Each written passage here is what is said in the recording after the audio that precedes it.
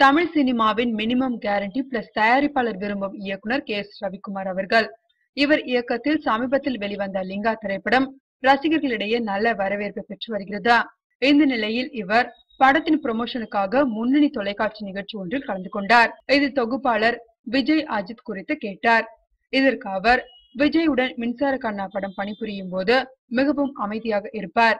அவரை எப்படியாவது பேச வைக்க வேண்டும் என்று ஒரு நாள் பஸ்ஸில் செல்லும் போது நீங்கள் ஆடியே ஆக வேண்டும் என்று கட்டளையிட செம டான்ஸ் ஆடி கலாட்டா செய்துவிட்டார் விஜய். இதேபோல் அஜித்தின் கடின உழைப்பு வரலாறு படத்தில் நான் கண்டேன். இன்னும் ஏழு நாட்களில் படத்தை முடிக்க வேண்டும் என்பதால் இரவு பகலாக கண்விழித்து நடித்துக் கொடுத்தார் என்று நெகிழ்ச்சியுடன் கூறியுள்ளார் கே. எஸ் ரவிக்குமார்.